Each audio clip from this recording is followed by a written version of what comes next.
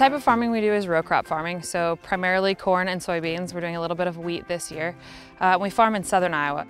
So I grew up around aviation and flying. Um, I'm a third generation fighter pilot. My father went into the military right after college. He was a T-38 instructor in the Air Force and then later a A-7 pilot here in the Des Moines Air National Guard. So when I went to college, I always wanted to be a fighter pilot. There were always times when things were difficult, right? Being in the military is difficult. Being in pilot training is hard. It is not an easy task. Uh, and the folks that do it have a grit about them to be able to make it through and be successful. But at the end of the day, service was always a quality and a trait that was instilled in me from a very young age and I was surrounded by it.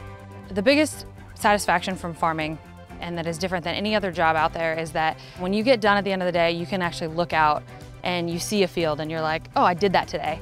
You have this like tangible sense of accomplishment. You're literally fueling America and it's all done by effort and hard work. I think the biggest things about being in the military that help with farming is you learn a incredible amount of flexibility. In the military, they say flexibility is the key to air power. And the reason that they say that is because you can never control all the things that happen, just an administrative standpoint, let alone actually in like the fog and friction of war. And so you always have to be ready to adapt. You have to be ready to change what your game plan is. You have to be ready with a plan no matter what. That has a absolute carbon copy ability to help you in farming. Because at the end of the day in farming, there's all these things that you can't control.